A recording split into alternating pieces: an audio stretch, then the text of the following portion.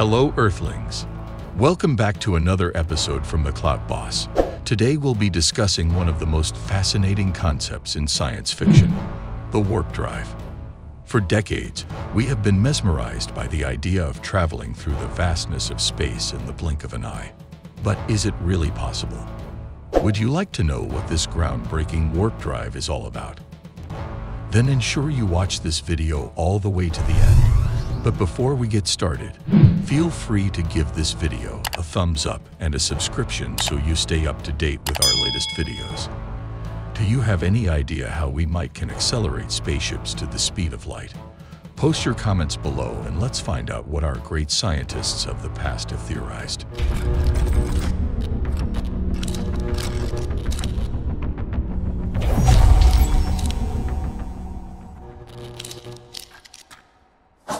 Firstly, let's understand what warp drive is. Warp drive is a theoretical concept of a propulsion system that could potentially allow faster than light travel. It was first introduced by the science fiction writer Gene Roddenberry in the Star Trek series. The idea behind warp drive is to create a bubble of space-time around the spaceship, which would move through space-time rather than moving through space itself. This would enable the ship to travel faster than the speed of light without violating the laws of physics.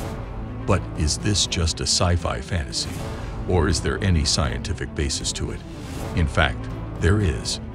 In the early 1990s, a physicist named Miguel Alcubierre proposed a theoretical framework for a warp drive that could theoretically work within the constraints of the laws of physics. Alcubierre's concept is based on the idea of expanding space behind the spaceship and contracting space in front of it. This would allow the ship to move through space without violating the laws of physics, as it would not technically be moving faster than the speed of light. Instead, the space around the ship would be moving. So, how would this actually work? Alcubierre proposed that the ship would create a bubble of space-time around it, which would warp the space-time fabric around it. This would expand the space behind the ship and contract the space in front of it, creating a space-time wave that would move the ship along. The ship itself would be stationary within this bubble, and only the space-time around it would be moving. This would allow the ship to travel at speeds faster than the speed of light, without violating any physical laws. However, there are still many challenges to be overcome before we can make warp drive a reality. One of the biggest challenges is energy. The amount of energy required to create a space-time bubble large enough to hold a spaceship is enormous. In fact, it is currently beyond our technological capabilities. To create a warp drive, we would need to find a way to harness an enormous amount of energy and channel it into the creation of the space-time bubble. Another challenge is the fact that we don't yet fully understand the nature of spacetime. Although we have a basic understanding of how it works, there is still much that we don't know. In order to create a warp drive, we would need to have a much deeper understanding of spacetime and how it can be manipulated. Despite these challenges, there are many researchers who are working on developing a warp drive. In fact, NASA's EagleWorks laboratories have been working on developing a warp drive for several years now. Although their research is still in its early stages, they have already made some significant progress. They have managed to create a small-scale version of a space-time bubble in their laboratory, which is a promising first step.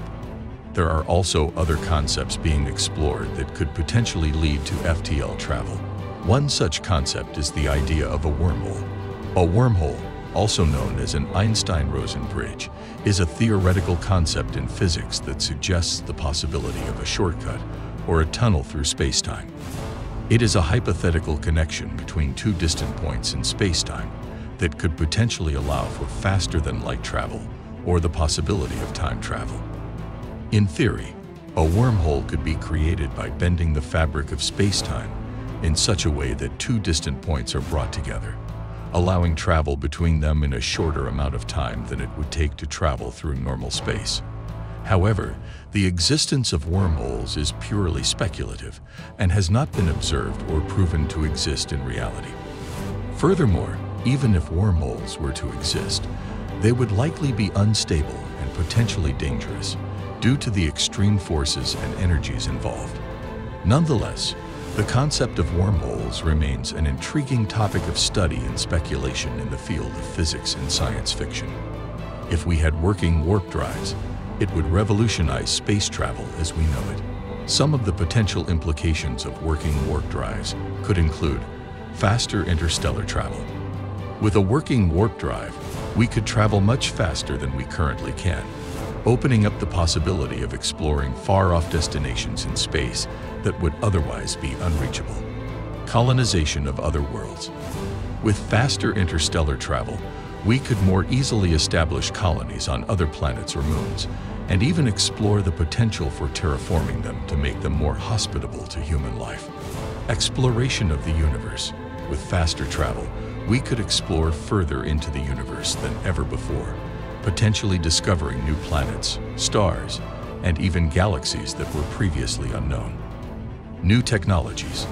The development of a working warp drive would likely require new technologies and advancements in physics that could have numerous other applications in fields such as energy, computing, and material science. While warp drive may seem like a far-off dream, it is important to remember that many of the technological marvels that we take for granted today were once nothing more than science fiction. Who knows? However, these proposals are still in the realm of speculation and have not yet been proven feasible. According to our current understanding of physics, there is no device that can travel faster than the speed of light in a vacuum. This is due to the fundamental laws of the universe, including the theory of relativity, which states that the speed of light is a fundamental constant that cannot be exceeded by any object or information. It's important to note that while there may not be any devices that can travel faster than the speed of light, there are other phenomena that can appear to exceed this limit. For example, certain subatomic particles called tachyons are theorized to have imaginary mass and always travel faster than light. However, tachyons have not yet been observed in experiments, and their existence is still hypothetical. With all that been said, what do you think? Leave your thoughts in the comments section. You have made it to the end of the video. If we kept you engaged, please to give this video a thumbs up and be sure to subscribe to The Clout Boss so you never missed another thrilling episode. Thanks for watching and see you in the next video.